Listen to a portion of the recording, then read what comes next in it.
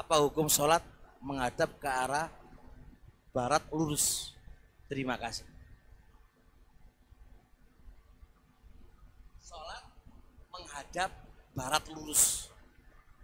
Ini kan sekarang sudah ada istilah sekarang itu harus menghadap ke mana? Ka'bah pas itu kan. Sehingga masjid itu diputar-putar hari. Tahun ini apa menghadap ini. Tahun besok muter mana? Ini mutar muter aja. Repot kayak gini nih Pak. Di fikih itu gini, di fikih Pak.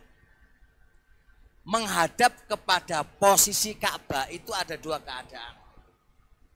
Keadaan yang pertama adalah menghadap posisi Ka'bah bagi orang yang melihat Ka'bah. Ulama sepakat.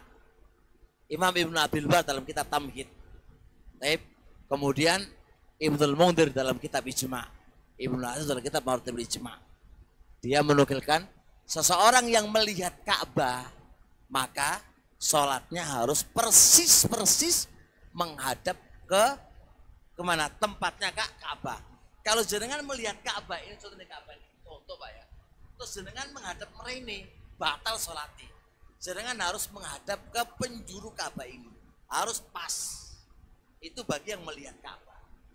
Bagi seorang yang tidak melihat Ka'bah kayak kita kita ini, itu adalah sholatnya di arah tempat diletakkan Ka'bah.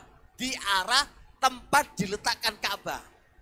Paham gak? Di arah, di arah. Di arah diletakkan Ka'bah. Bisa dipahami gak? Ini yang benar. Dalil yang mensyaratkan dan mewajibkan kita wajib melihat atau menghadap pas persis diletakkan Ka'bah ini enggak ada dalilnya. Dan ini adalah taklif malayutok, pembebanan yang kita nggak mampu. Bukankah dulu Rasul alaihissalatu wassalam ketika di Madinah, perang dan seterusnya. Apakah Nabi bisa memastikan apa? Apa sini? Tempatnya persis Ka'bah, mana ada keterangan begitu? Gak ada alat. Gak ada alat. Gak ada alat. Maka bagaimana caranya? Maka Nabi menghadap ke tempat, ke arah tempat diletakkan Ka'bah. Yang kedua, alat model sekarang ini setiap tahun berbeda-beda. Semakin canggih alatnya, semakin apa? Muter sana, muter sini, muter ini menunjukkan tidak akurat. Berpedoman dengan dengan alat itu nggak akurat. Oleh karenanya, ada sebuah hadis Nabi alaihissalatu wassalam. Kata Rasul, Mabainal masriki wal maghribi kiblat. Antara timur dan barat itu kiblat. Waktu itu Nabi bilang di kota Madinah.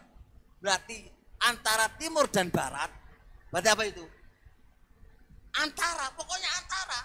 Timur dan barat itu kiblat. Jadi nggak mesti harus apa?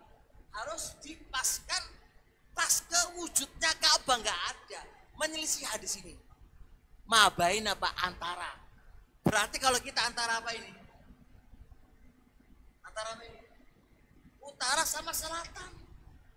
Mau mau menghadap menghadap Sepenting antara utara dan selatan selama jenengan sholatnya tidak ke utara dan tidak ke selatan itu jadi batal sholat jenengan.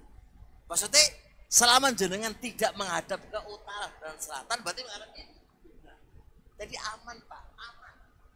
Aman. Jadi kita nggak terlalu taklid membebankan diri sendiri harus mengencengkan, mengencengkan ya meluruskan. Kita pas ke Ka'bah niku Masya Allah niku terlalu berat. Orang saking ngono gitu loh. Agama adino yusrun. Agama itu gampang.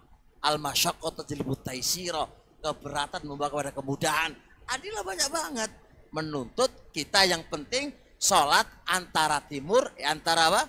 Antara apa? Selatan dan utar utara. Itu sudah dibilang kib kiblat. Jelas insya Allah